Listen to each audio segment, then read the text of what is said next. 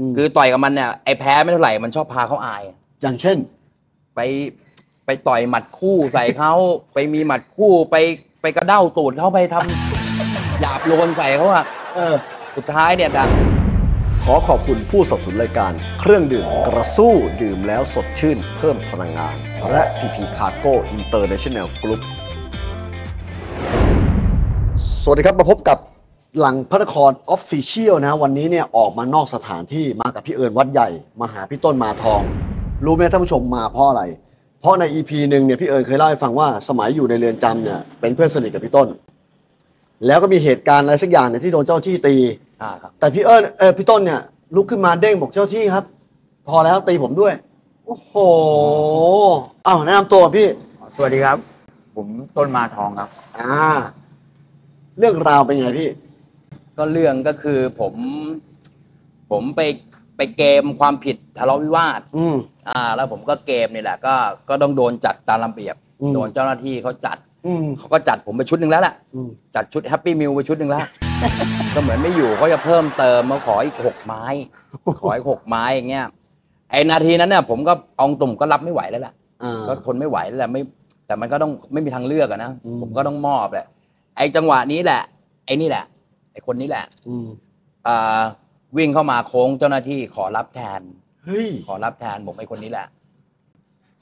ถามจริงๆ ตอนนั้นความรู้สึกยังไงที่วิ่งออกไปแล้วแบบเห็นเพื่อนโดนตีแล้วไปขอเจ้าที่ว่าฉันอยากจะโดนตีแทนอะมันไม่มีมันไม่ค่อยเจอในคุกก็ไม่มีแบบนี้ คือผมเห็นเขาสภาพแบบรับไม่ไหวแล้ว อืมคือว่าสะง่องแล้วครับ เออเละแล้วครับ ใช่ไหมครับ ซีกันขนาดไหนอะตอนอยู่ในข้างในอะคือซีกันสุดๆครับ ใครใครรู้ใครรู้เงี้ยก็คือว่าใครที่เคยเจอกันมาเงี้ยรู้เลยว่าผมกับเออนี่ซีกันมากครับ อือหือแล้วที่มาที่ไปของการไปเริ่มต้นรู้จักกันเจอกันได้ยังไงอะอ๋อวันนั้นวันวันแรกที่เราเจอกันคือวันที่ว่าย้ายไปแม่กลองพร้อมกันครับ อ๋อแล้วผมก็เห็นเขาออกมา ผมก็มองเขานี่มันทรงแม่งกวนตีนนี่ว่ะมันแบบทรงกวนตีนเนี่ยใส่เสื้อทหารแขนยาว เออเออผมก็มองแล้วตอนนั้นมาผมก็ไม่เคยย้ายย้ายย้ายไปที่ไหนเลยครับ อืม ผมก็มองเขาอืม โหทรงนี้มันมันได้มันกวนตีนแล้วคำพูดคำจานี่แบบอืมอืมเดินโยกโยกสายมาเลยครับ ใช่เหรอแต่ผมก็นึกว่าเป็นฝีที่รักแร้ครับเดินสายมาเลยครับเออเออผมก็งงครับมองผมก็มองเฮ้ยมันใช้ได้เลยแบบอืมนี่สามหมูเลยนี่หว่าอ่าอืมแต่ที่ไหนได้ไปถึงแม่กลองแล้วลงรถปุ๊บมันไม่ใช่อะตอนตอนเจอนึกว่าซามูนึกว่าสามหมูครับเดินมาแบบวันนั้นออกมากับไอ้นี่ฮะออกมาใครครับกุ้งอะ ออกมาหมดเลยแดนตอนนั้นแดนสี่ออกมาหลายคนแดนสี่ออกมาหแต่ลายพอคไปนเจอพอลงจากรถปุ๊บเป็นไงคนละเรื่องนะครับ เป็นไงอะหนังคนละม้วนนะครับเออเออกูไม่ดีเลยกูไม่ใช่มันเป็นไงทรงทรงซามูทำไมแล้วกูเป็นไงกูไม่ดีอะตรงไหนแล้วเปลี่ยนเป็นทรงชินจังอะพูดคนให้ร้ายพูดให้คนเขาเอาแล้วเนี่ยแหละครับก็เป็นเพื่อนซีกันเจอข้างในนะโอเค แล้วก็ใช้ชีวิตอยู่ข้างในจนกว่าจะซีกันนานๆแค่ไหน ก็ลงรถก็ไอ้นี่แล้วแบบคืออยู่ด้วยกันครับอืมตอนนั้นเราอยู่ด้วยกันกี่คนนะมีผมอืมเอิญบู อืมแล้วก็อันอืมแล้วก็บังแจ็คอ่าบางแจ็คเลยสมัยคนนั้นหนึ่งก็อยู่ด้วยกันมาโดยตลอด ครับ มีความประทับใจข้างในไหมคือมีอยู่ครั้งหนึ่งครับ คือ ตอนนั้นอะ คือในกลุ่มอะเขาหลอกเอิญอืม คือว่าผมอะไปชกมวย ไปชกอยู่ที่เขาบิน อืม แล้ว เอิญเนี่ยเยี่ยมญาติครับเอิญเยี่ยมญาติปุ๊บแล้วผู้กลุ่มอะเขาหลอกไปหลอกเอิญว่า ผมอะเป็นหนี้เออ เป็นหนี้สามพันอืม เอิญจะทำไง เอิญก็บอกว่าต้นเป็นเป็นหนี้ใคร มันก็เดินจ่ายให้ผมเลยอืมทั้งนี้ผมว่าไม่ได้เป็นหนี้ใคร คือมีคนมาลองใจพี่เอิญว่ากล้าหรือเปล่า ครับ ต้นเป็นหนี่นี่คือเดินจ่ายเลยเดินจ่ายเลยครับ โอ้โหประทับใจเลย ก็คือ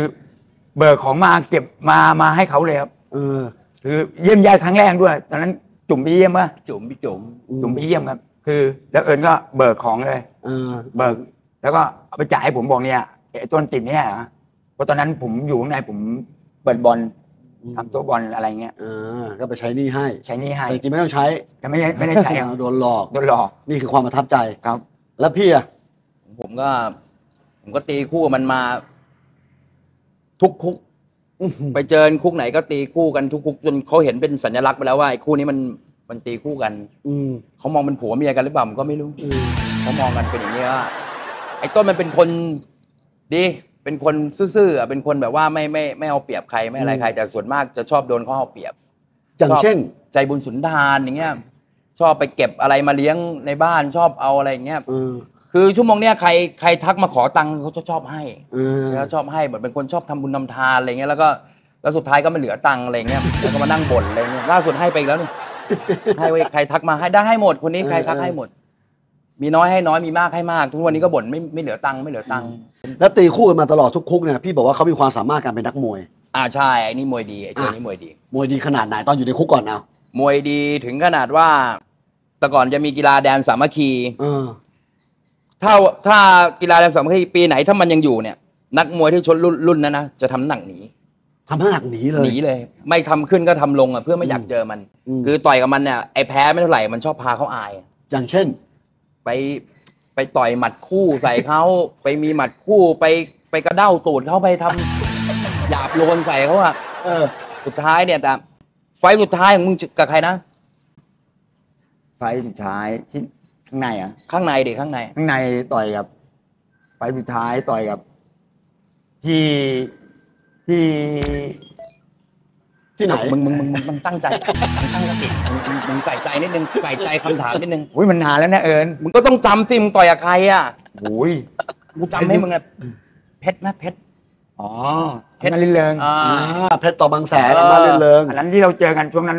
ผมว่าผมก็สดอืมคือว่าเราก็ชนะมาทั้งคู่อะ อ๋อเขาก็สดเราก็สด ครับ สมัยนั้นเขายังไม่เป็นแชมป์โลกไม่เป็นไรใช่ไหมยังเลยยังอยู่ในเรือนจำยังอยู่ในเรือนจำนะ ก็คือ แบบ ผมว่าผมก็ไวนะอืม แต่ไปต่อยกับเขานี่เขาไวกว่า สู้ไม่ได้เลย สู้ไม่ได้เลยก็คือ ผมต่อยมาเนี่ยอะไฟล์แรกผมต่อยกับต่อยกับไว้หนุ่มอืมกองเชียร์ดังๆนี่ผมเล่นแล้วกองเชียร์เงียบเลย โอ้โหเอ็มตัวลาสะดุ้งเลยมั้ยเนี่ยผมกองเล่น เชียร์ดังๆนี่เงียบเลยนะเงียบเลยครับคือตอนแรกขนมาแบบกองชุดมาเลยครับ เออ ต่อยไปต่อยไปนี่ยิบเอาสกอร์กับศูนย์ผมผมไม่โดนสักหมัดโอ้โหเนี่ยมึงไปคุยอย่างเงี้ยเดี๋ยวคนเขาก็ไม่เชื่อคนเขาก็เนี่ยไปคุยไม่โดนสักหมัดครับนั่นสมัยวัยรุ่นสมัยวัยรุ่นวัยรุ่นก็วัยรุ่นนี่กี่สิบปีแล้วก็ไม่รู้วันนั้นผมไปให้แม่กองอ๋อไปในไปต่อยกับไว้หนุ่มเจอกับเจ้าภาพเลยครับไฟล์เล่แรนกเล่นซะเสียเสียไว้หนุ่มเลยครับอะไฟล์สองไฟล์สองเจอกับพิษณุโลกอื้อหือผมก็เล่นเขาแบบ หมดทางสู้อะ โอ้โหก็คือยอุ้ย TKO อีกแล้วก็คือ ผมถึงไปไปชิงเบสอ๋อชิงเบสกับเล่นพิษณุโลกหมดทางสู้ เล่นวัยหนุ่มกองเชียร์เงียบ ก็คือเอาง่ายๆอะ ผมแค่ชกว่าชกชกเป้าอะกับบัมอะบัมไหนบัมไหนบัมไหนบัมประพันธ์พลอยสุวรรณนะครับหรือว่าบัมบัมแม่กองอะอ๋อที่เขาอยู่ไฟขับใช่ไหมที่เขาเป็นใช่กรรครัมบการใช่คนนี้ไหมใช่ครับอ๋อแล้วเขาเขาเป็นเทรนเนอร์พี่ คือว่าเป็นคนเป็นคนรอบรอบเป้าให้ผมเลยอ่าแล้วเป็นไงคือว่า แค่รอบเป้าเนี่ยเจ้าหน้าที่ก็เดินมาถ่ายรูปเก็บไว้เลยอะโอ้อุ้ยเป็นขนาดไหนเนี่ยเป็นแบบเป็นเป็นเป็นชุดอะผมยังมองเลยโอ้โห ทำไมเราเก่งขนาดนี้ ก็คือเขาว่าเขายังบอกผมเลยบอกว่าเนี่ยน้องย้ายไปเรียนจำพิษณุโลกไหมโทษเราเหลืออีกสามปี โอ้มีซื้อตัวเลยเรือนจำซื้อตัวเลยนะ เขาบอกว่าเนี่ยถ้าน้องย้ายไปเนี่ย เดี๋ยวพี่จัดการเรื่องให้เลยโอ้โห คือว่าย้ายไปกับกับภูมิลำเนาอืมอืม คือจะดึงตัวเลยซื้อตัวดึงตัวแล้วมวยตัวนี้เลย ดึงผมไปอะแต่พอขึ้นชิงเจออำนาจปุ๊บโอ้โห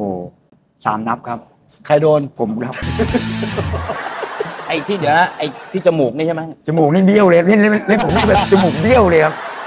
จมูกที่เบี้ยวทุกวันนี้จากอำนาจลื่นเริงจากนั่นเล่นเริงครับ โอ้โหไปโดนอีท่าไหนไปโดนอีท่าไหน ก็คือต่อยอะ คือเราเราจ้องอย่างเงี้ยคือเราคิดว่าเราก็ไวแล้ว อืมอืมเราก็ลองลองทุกอย่างแล้วอะลองจังหวะสอง ขนาดที่ไหนได้เขามีจังหวะสาม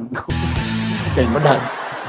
โอ้โหนี่สากลใช่ไหมสากลครับสู้ไม่ได้เลยสู้ไม่ได้เลยครับโดนไปสามนับเลยโดนไปสามนับ ยกนันนับครับโอ้โหยกจแล้วนนับกองเชียร์นี่บอก พอแล้วต้นอย่าลุกเลยโอ้โหเก่งจัดเลยสรุปสรุปอำนาจได้เหรียญได้เหรียญแล้วก็ได้ได้เหรียญอะไรได้เหรียญอะไร ได้เหรียญทองครับ แล้วก็เป็นเบสแล้วผมได้เหรียญเงินอ่าจากนั้นก็เลยได้เบสไปอ่าก็คือเราแพ้อำนาจคนแพ้เดียวมาคนเดียวที่แบบครับสู้ไม่ได้แบบครับอ๋อยอมยอมแล้วตอนนี้ผม ยอมครับ ยอมนะอะแล้วจริงๆแล้วพี่ต้นก็เป็นหลานกับใครนะ พี่หวังหวังเออสมหวังมาทองเป็นอะไรกันใช่เป็นไหมอะไรเป็นอะไรกันอ๋อเป็นเป็นน้าน้าชายครับน้าชายน้าชายเป็นน้าชายที่สนิทมากเลยครับตระกูลที่ก็คือมวยทั้งหมดเลยใช่ไหมครับ บ้านผม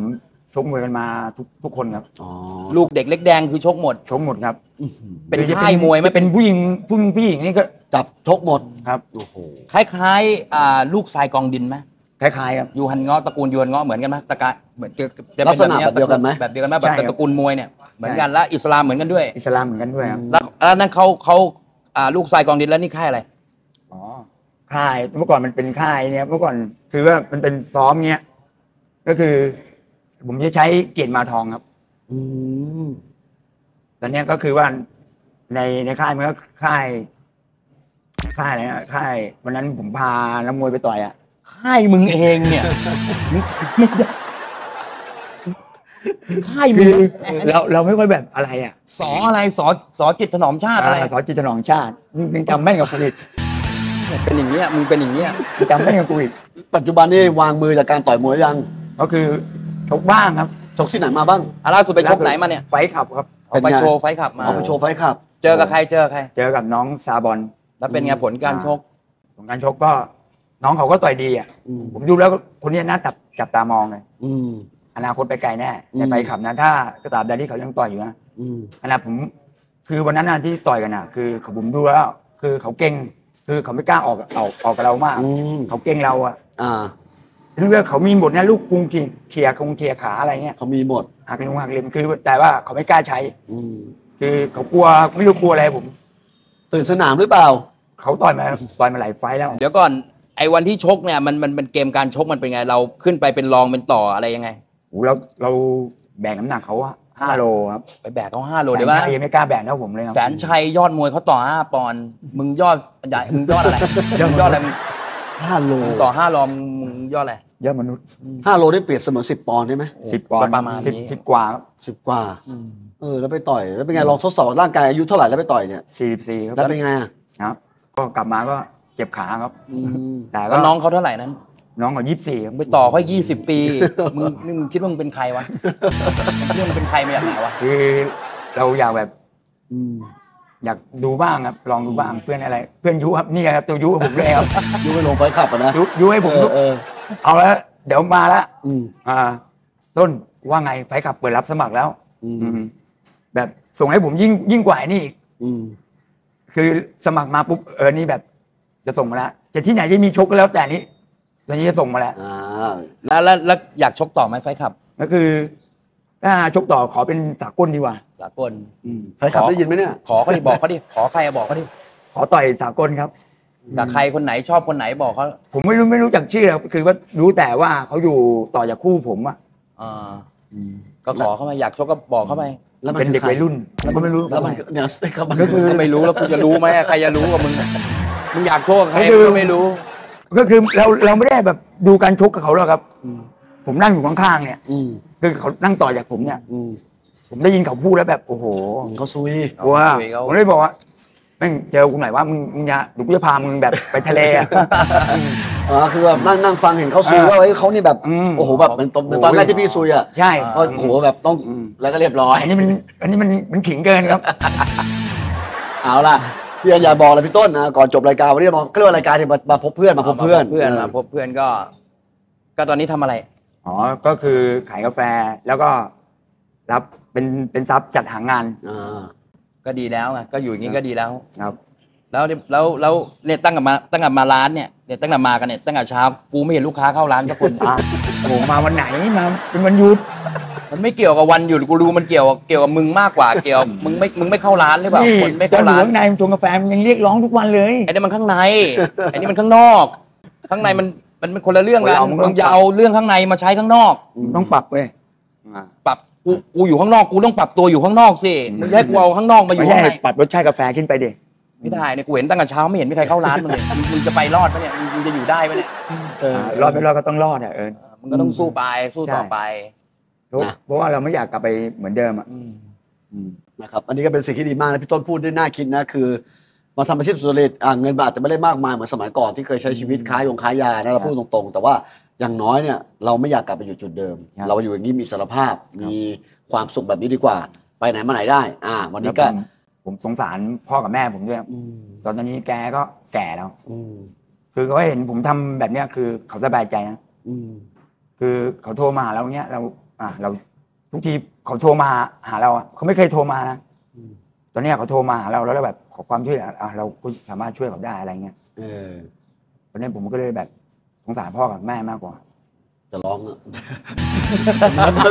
เดี๋ยวเดี๋ยวจะร้องไห้เลยซึ้งดึงซึ้ไปดราม่าเฉยเลยไม่ใช่มันเรื่องจริงเออเออนี่เป็นความรู้สึกของเขาจเอาริงความเป็นความรู้สึกจริงอ่าโอเคคือเราอยากอยากให้รู้อะๆอืม อืมหรือว่าทุกอย่างอะ อยู่ใช่อยู่ ตรงเนี้ย มีคนนับหน้าถือตาหมดอะแล้วแล้วเรามาอยู่แบบเนี้ย มีใครอะใครแม่งก็มองเรามองเราแบบ แต่ว่าอีกอย่างหนึ่งมันคือ มันสบายใจกว่า คนมองเราเนี่ยโอ้โหยิ่งมึงทำงานอย่างอย่างนี้อะถ้าเราไปทำยาเนี่ยโอ้โหคนแม่งมองแบบอูจิโกซามูแบบมองใหญ่โตไปอีกอ่า แต่เรามาทำตรงเนี้ย คนแม่งมองแบบ สายตาแต่เราอย่าไปแคร์คนที่เราแคร์คือพ่อกับแม่มากกว่าที่เราสมควรแคร์ สุดยอด สุดยอดฮะก็ขอบคุณพี่ต้นมาทองขอบคุณพี่เอิญด้วย วันนี้ก็พาพี่เอิญมาเยี่ยมเพื่อนนะเออมานั่งเล่าเรื่องกัน แล้วก็ฝากติดตามนะกับรายการฟังเพลินๆกับพี่เอิญวัดใหญ่ว่าครั้งต่อไปตอนต่อไปเนี่ยพี่เอิญจะเล่าเรื่องอะไรสำหรับวันนี้เราทั้งสามคนขอลาไปก่อนสวัสดีครับ สวัสดีครับ